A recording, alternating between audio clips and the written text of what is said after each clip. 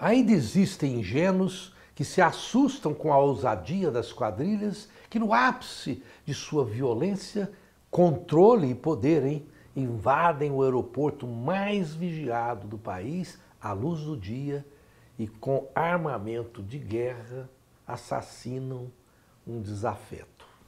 Ora, sucessivos governos adotaram a prática de demonizar a polícia, sempre criticada por uma boa parte da imprensa e tratar o bandido como se ele fosse um subproduto natural da pobreza ou da luta de classes.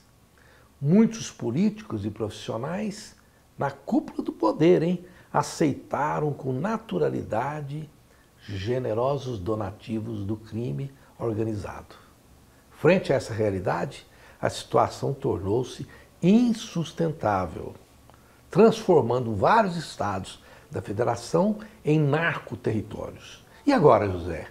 Com soldados deste infernal exército infiltrados em todos os segmentos, ainda é possível reagir?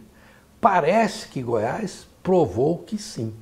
Existem pseudos intelectuais que têm ódio disso. Pode?